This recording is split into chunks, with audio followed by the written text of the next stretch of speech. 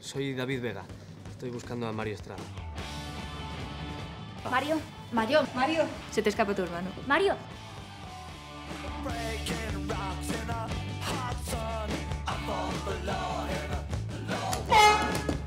Ahora aprende el maestro.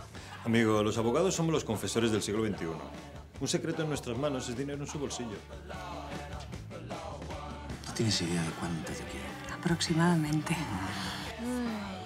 ¿Por qué quieres ser abogado? Porque creo en la justicia y pienso que desde la abogacía puedo contribuir a crear una sociedad más igualitaria. Quiero que me devuelvan mi pene. ¡Que lo está liando todo! ¡Que es usted un cerdo! En esta profesión, nadie juega limpio. ¿Te he dicho que estaba en shock? No. Ahora estoy en shock. Ya está, ya está los cojones. Devuélveme mi polla.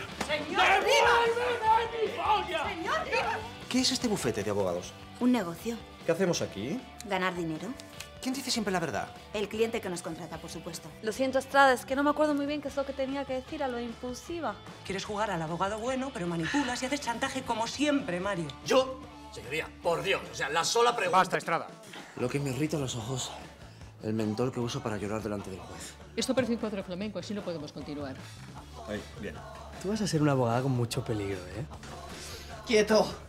Soy abogado, ¿no? A veces nos agreden, a veces nos disparan. Bueno, entra en el sueldo.